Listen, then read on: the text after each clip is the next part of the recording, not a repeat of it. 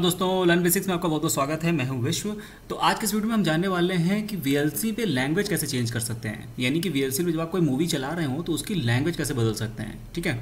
तो कई सारी मूवी ऐसी होती, दो अलग अलग लैंग्वेज में होती हैं। तो वो हम कैसे करते हैं तो आज के इस वीडियो में हम यही जानने वाले हैं। तो अगर आपका भी सेम सवाल है तो कहीं जाइए कि नहीं, वीडियो लास्ट तक देखते रहिए। दोस्तों, इससे पहले कि वीडियो शुरू करें, दो इंपॉर्टेंट बातें आपको मेरे चैनल पर हिंदी और इंग्लिश दोनों पर वीडियो मिल जाएँगे। दूसरा, चैनल सब्सक्राइब करना मत भूलिएगा। तो चलिए शुरू करते हैं वीडियो और जानते हैं कि कैसे हम VLC पे कोई मूवी जब हम चला रहे हो तो उसकी लैंग्वेज कैसे चेंज कर सकते हैं। तो देखिए, बहुत सिंपल है। मैंने एक मूवी ओपन करी है, लेकिन इसको रन नहीं करूँगा क्योंकि कॉपीराइट इशू हो जाता है, ठीक है? तो अगर मुझे लैंग्वेज चेंज करनी है तो सिंपल हमें जाना है ऑडियो पे। ये देखिए, तीन ऑप्शन ऊपर दिख रहे हैं आपको मीडिया प्लेबैक ऑडियो ठीक है? सॉरी कई सारे ऑप्शन है। Media playback audio video subtitle view and help तो हमें तीसरा ऑप्शन चूज़ करना यानी कि ऑडियो जब आप इस पर क्लिक करेंगे तो ये देखिए नीचे एक छोटा सा ड्रॉप डाउन ओपन हो जाएगा और इसमें कई सारे ऑप्शन आपको दिखेंगे।